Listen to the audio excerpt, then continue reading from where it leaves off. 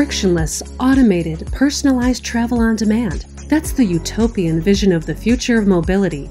A world where connected, autonomous, shared, and electrified vehicles have moved society beyond constraints like traffic congestion, car accidents, and fossil fuels.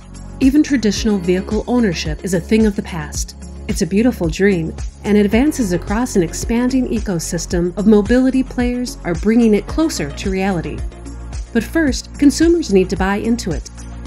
And that means overcoming some deep seated tendencies and behaviors. Deloitte looked at the attitudes today's customers bring to tomorrow's possibilities. What did consumers reveal? First, they don't like to pay more than they're used to. Second, they don't like to compromise on their time, personal safety, or privacy. And third, they aren't keen on carpooling, shuttles, or similar shared microtransit solutions. How can we tackle these challenges?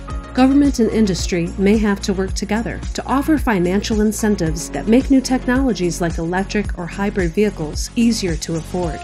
New technology that makes electric charging as quick as filling up at the pump could help make consumers even more comfortable with these cars. More education can ease fears about the safety of autonomous vehicles. So can rigorous standards everyone understands. The prospect of sharing data might not be so scary when people experience the value connected mobility can provide. And when a range of new integrated apps makes shared vehicles even more convenient, people may start to overcome their ingrained need for ownership. Remember, even if many consumers are wary of these new offerings today, the younger consumers who will make up tomorrow's core market appear much more comfortable with these changes. Overall, they are more predisposed to seek affordability, efficiency, and personalization.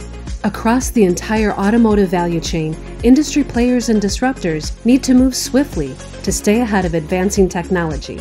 But in the end, consumers will likely pick the winners and losers. Are you confident you understand what they want and what they don't?